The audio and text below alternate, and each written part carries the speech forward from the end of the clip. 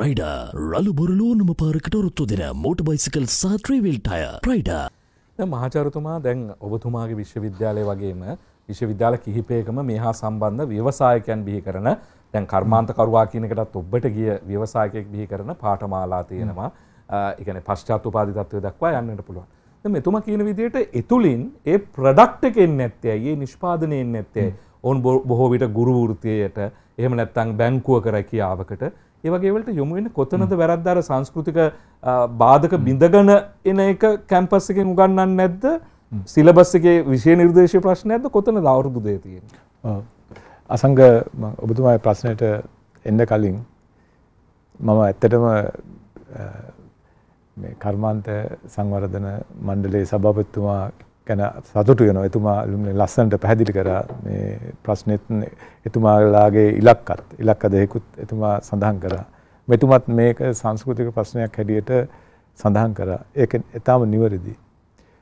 ඇත්තටම අසංග දැන් මම මෙහෙම කතා මම දැනුමට කතා නොකර මම ටික මේ වගේ වැඩසටහන් වලදී මම පුළුවන් තරම් උත්සාහ කරන්නේ ආකල්පයේ වෙනසක් චර්යාමය වෙනසක් ඇති වෙන විදිහට කතා කරන්න.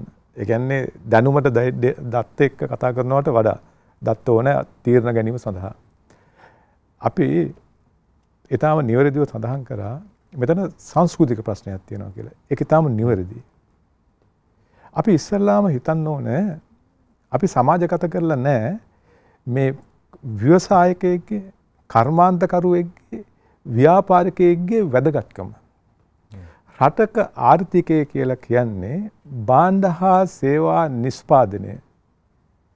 බාණ්ඩ හා සේවා නිස්පාදනය කරන බාණ්ඩ හා සේවා පාරිභෝජනය කිරීම තමයි ජීවත් වෙනවා කියලා කියන්නේ.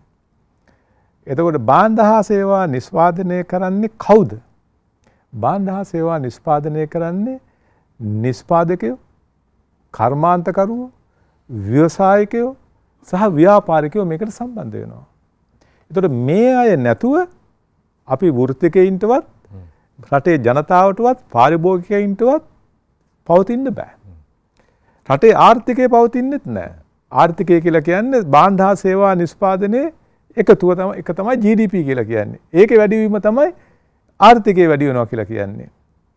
එතකොට අපි සමාජගත කළ යුතුයි මේ බාණ්ඩ හා සේවා නිෂ්පාදනය කරන අයගේ වැදගත්කම ඒ අය තමයි සේවා නියුත්තිය ඇති කරන්නේ රටක.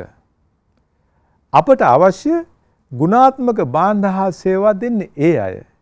ඒ අය තමයි බාණ්ඩා සේවා අපනයනය කරන්නේ. ඒ අපනයනය කිරීම තුළින් තමයි විදේශ විනිමය ලැබෙන්නේ.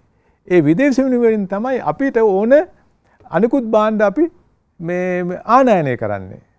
එතකොට රටක ප්‍රධාන තැන දෙන්න ඕනෑ. ව්‍යවසායකයන්ට ව්‍යාපාරිකයන් නිස්පාදකයන්ට කියන කතාව මම බොහෝ රූපවාහිනී වැඩසටහන් වල කතා කරලා තියෙනවා. ඒක ලෝකෙ දියුණු රටවල් කරනවා. ඒකේ එංගලන්තේ එම්බසියට ගියත් අපි වීසා ගන්න එම්බසියට ගියත් ඒක ගහලා තියෙනවා. entrepreneurs are great. business is great. කියලා තමයි ගහලා තියෙන හැමතැනම. ඒ අය බලනවා ලෝකෙ ඉන්න හොඳ ව්‍යාපාරිකයෝ ඇදල ගන්න. ඒ අය ඒ අයට පහසුකන් සලසලා තියෙනවා. එතකොට අපි රටක් හැටියට මෙතුව මං නිතරම කියන දෙයක් තියෙනවා. අපි කොහොමද මේ කර්මාන්තකරු ව්‍යාපාරිකයෝ නිස්පාදකයෝ වැඩිදුණු කරන්න ම නිතර කියන පතා මෙතුමාද සඳහන් කර දරුවෙක්වත් ව්‍යාපාරිකයකුට කන්පාත්තකරුවෙකුට බන්ධල දෙන්න ඇති රටක. අපි කොහොමද ව්‍යාපාර මේ කර්මාන්ත සඳහා නිස්පාදක ඒන්නේ අය යොමු කරවන්නේ.